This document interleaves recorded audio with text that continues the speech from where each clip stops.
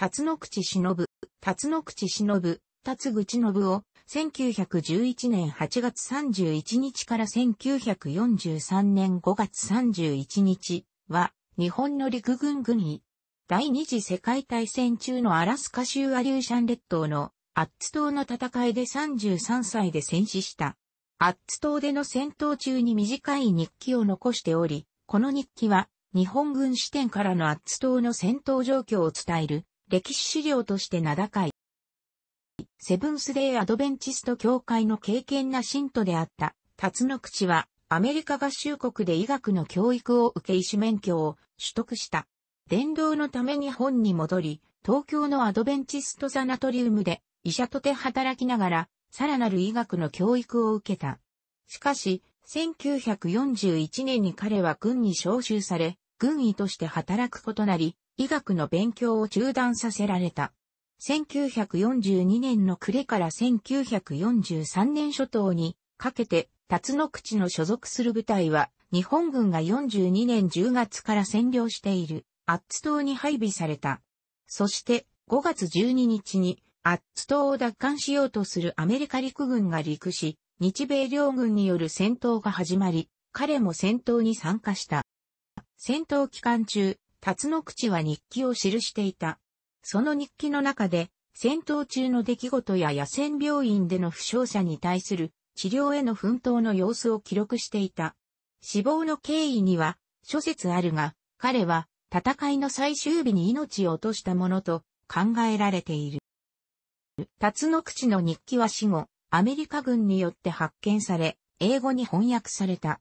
翻訳のコピーはアメリカ軍の内部で広まり、戦争後に本国でも出版された。クリスチャンであり、アメリカで教育を受け、悲劇的な最後を遂げた、辰野口の日記はアメリカで注目を集めた。辰野口の日記の省略は、西洋の戦記家に広く引用されており、特に最後の家族に対して、別れを告げるメッセージは有名である。なお、ポール、ポールという英語名を名乗っていた。また、日本国外では誤って、ネブ、ネブと呼ばれていることもある。辰野口の父、周一は、広島で生まれ育った後、1895年に、新しい世界を冒険するために、アメリカへと旅立った。彼は、カリフォルニア州で、ヘラルズバーグ大学、後のパシフィックユニオン大学に入学し、在学中にセブンスデーアドベンチスト教会の洗礼を受けた。1907年にサンフランシスコの医科歯科大で私学の教育課程を終え、周一は医療を通じた伝道のために働く計画を持って故郷の広島へと帰った。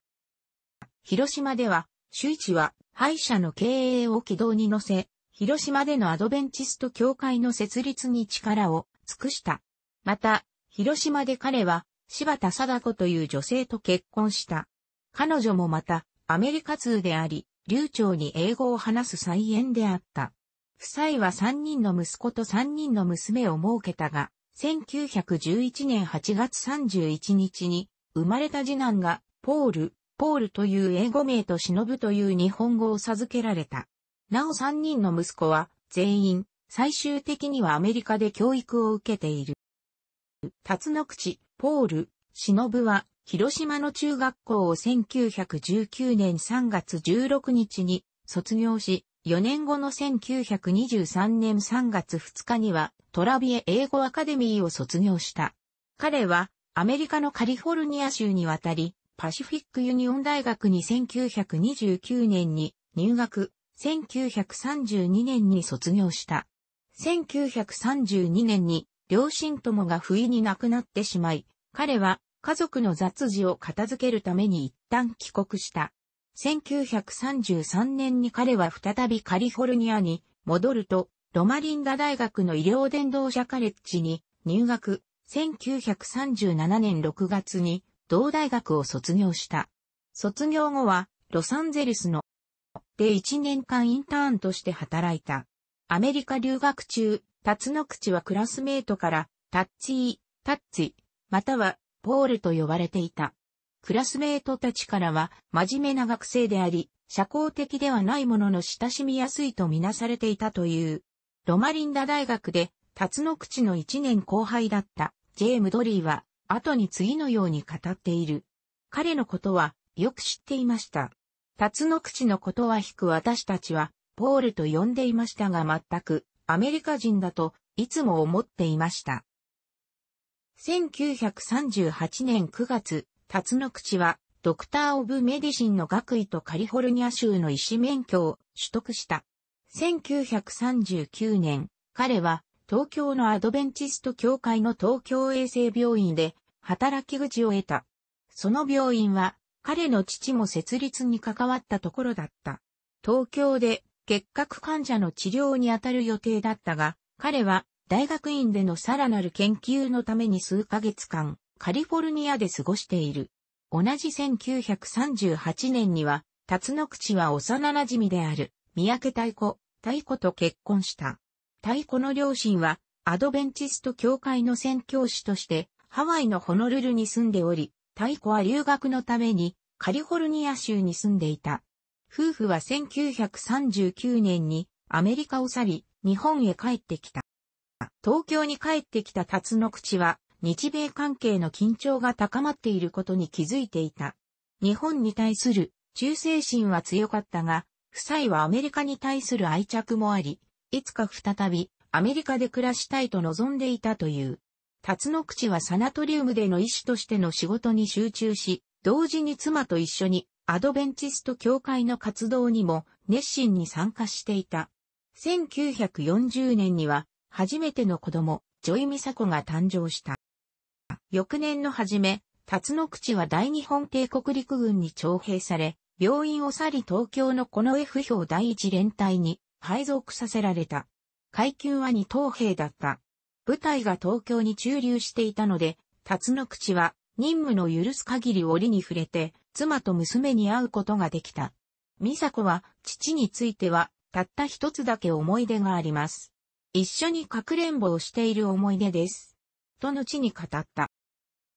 1941年9月、辰野口は陸軍軍医学校に入学した。彼は10月には卒業し総長へ昇進、元の部隊に1942年1月に復帰した。その直前の前年の12月、日本はアメリカ海軍に対して真珠湾攻撃を行い、アメリカ合衆国と連合国に対して戦線を布告した。本来なら軍医の任務に就く者には、士官、将校の階級が与えられるのだが、アメリカでの留学経験を警戒してか、辰の口には、士官の地位が与えられず、下士官としての階級のまま軍医として働いた。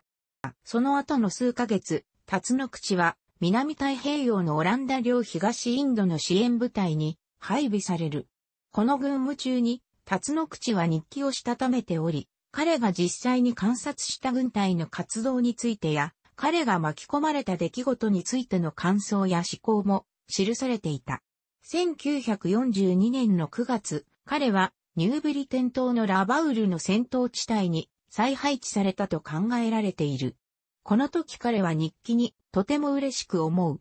最善を尽くす決心をした。最後の一兵となるまで敵を攻撃する決心をした。と書いていた。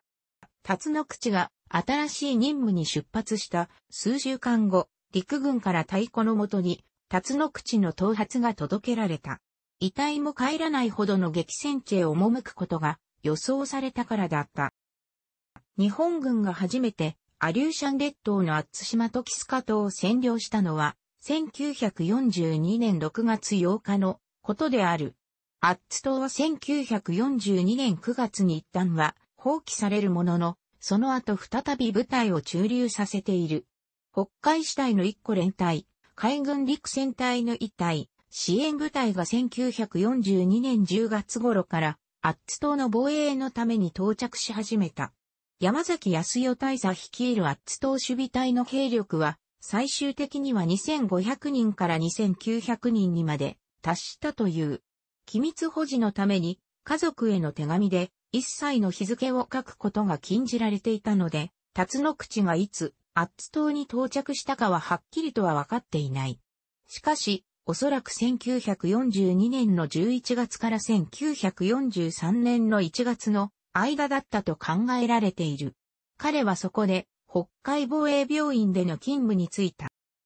アメリカ海軍の海上封鎖のために、アッツ島と日本本土の手紙のやり取りは稀にしか行われず、しかも遅れがちだった。しかし辰野口は太鼓からいくつかの荷物を受け取った。その中には、クッキーや赤切れの軟膏が含まれていたという。彼の部隊の場所や任務について書くことは禁止されていたので、辰野口は天気のこと、雪景色の美しさ、魚釣りなどについて太鼓に書き送った。最終的には4通の手紙と何枚かのポストカードが太鼓のもとに届いたという。また、2月には、次女のローラ睦子、睦子が生まれ、そのニュースは、辰野口のもとにも届けられた。彼は、手紙の中で、娘たちに、クラシック音楽を聴かせるように記していた。この時期に、彼が日記を記していたかどうかは不明である。現在知られている彼の日記は、5月、アメリカ軍が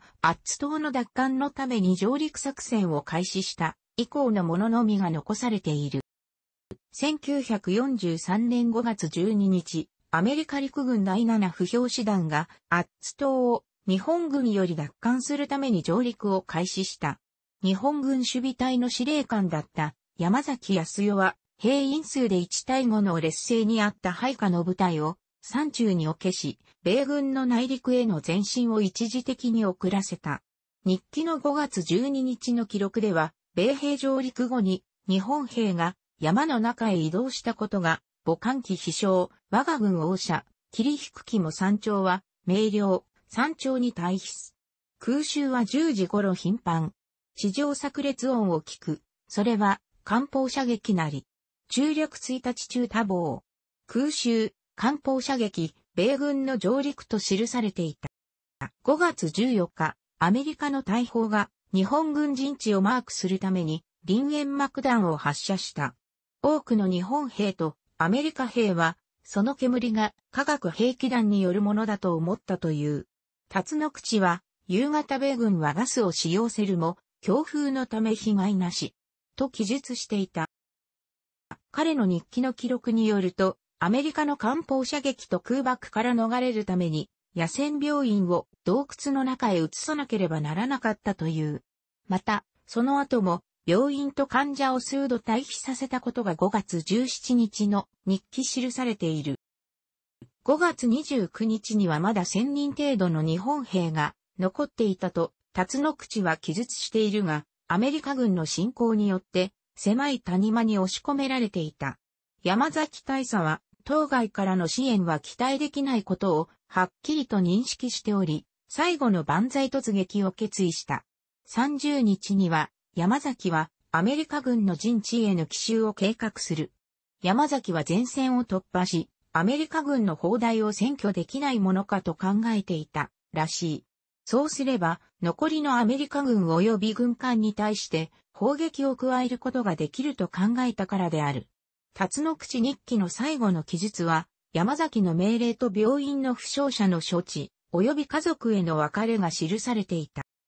山崎は5月30日の早朝に攻撃を開始した。攻撃は前線の突破には成功したものの、米軍の予備部隊は直ちに体制を立て直し反撃を開始した。この結果、山崎大佐と多数の突撃に参加した日本兵は大多数が死亡した。生き残りの日本兵はほぼ全員自決し、30名弱のみが捕虜となった。辰野口の死の状況には二つの説がある。一つは、彼が最後の突撃に参加しなかったという説である。5月30日の遅く、万歳突撃後の残存日本兵の総統に当たっていたアメリカ人兵士のチャールズ・ W・ レイドとジョン・ハーンの二人が辰野口の野戦病院が置かれている洞窟へ接近したところ、辰野口が洞窟の中から現れ、二人に向かって聖書を振りながら、英語で、撃つな。私はクリスチャンだ。叫んだという。レードは、辰野口の言葉を聞き射撃を止めたが、ハーンは、辰野口を射殺した。ハーンは後に、風と戦闘の騒音のために、辰野口の言うことが聞き取れなかったと述べ、また聖書が武器のように見えたという。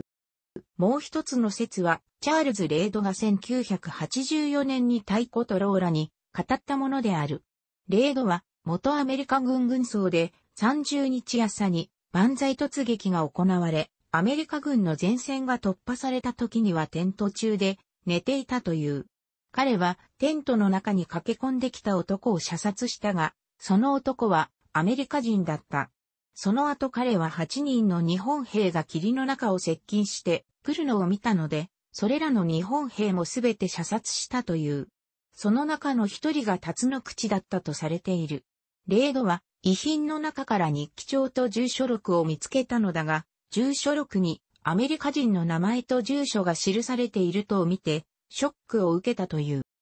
また、アッツ島の戦いには、辰の口のロマリンダ大学でのクラスメート二人が軍医として参加していた。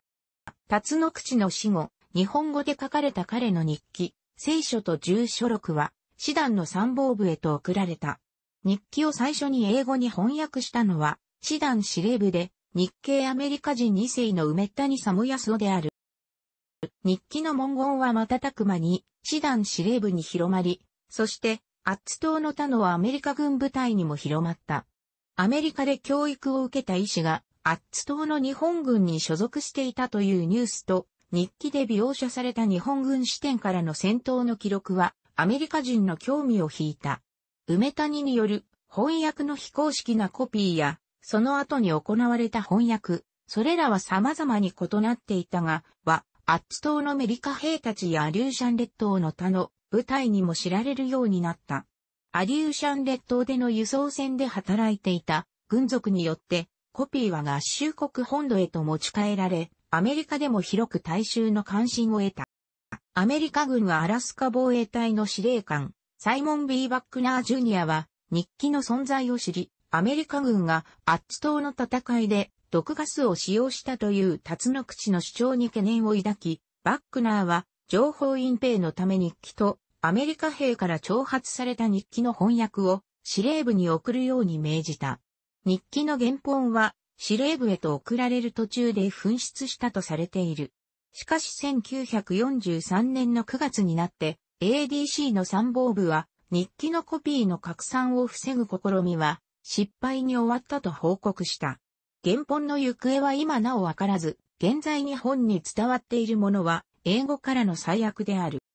数社のアメリカの新聞社は日記の翻訳の一部を公表した。記事の多くは彼が敬虔なクリスチャンでありながら負傷した戦友の殺害に関わっていたことを非難した。例えば、シカゴトリビューン社の1943年9月9日の記事の見出しでは、アッツでジャップが味方負傷兵を殺害。日記が明らかに Japs Slew Patients on Attu, Diary Discloses とある。対照的にロマリンダ校卒業生新聞は戦況が彼のコントロールを超えており、彼の行為は宗教的、医療的な主義と相反するものではない、と辰口を擁護した。